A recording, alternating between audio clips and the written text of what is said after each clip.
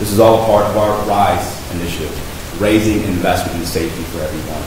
And hopefully today's announcement shows material progress around recruitment of new officers. We have a lot more work to do.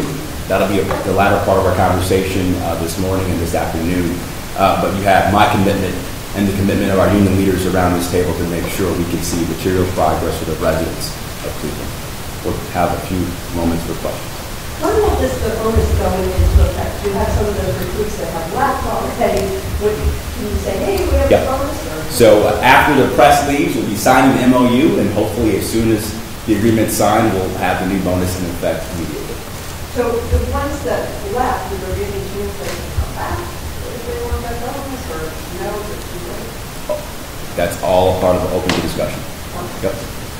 Have you had any discussions yet today, or do you plan to later today about issue 24, Charter Section 115? I know officers, you know, certainly have their concerns about that. Is that on the table today? Yeah, so uh, both Jim and Jeff really expressed some of their concerns about um, the level of, of, of discipline that currently exists inside the department and how that's affecting morale uh, and culture. And it's feedback I've, I've heard as mayor from our men and women fighting violent crime all across the city.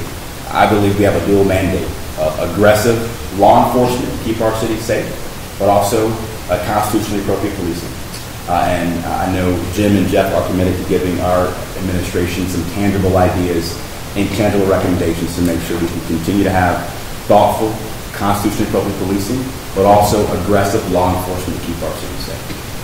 Mr. Mayor, how do you uh, plan to keep the officers that you had retention? Oftentimes, we recruit, train, and then they are, in my word, not yours, stolen from us by the uh, municipalities.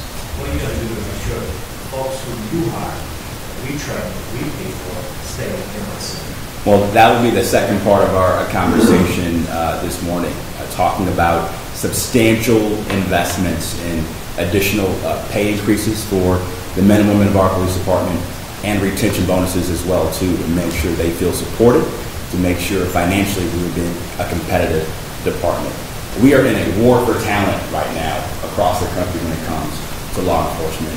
And I've given my word as mayor that I'm not going to spare any expense to invest in public safety. And uh, we're looking forward to those continued conversations around additional investments related to wage increases and retention bonuses as part of our retention aspects of these ongoing conversations.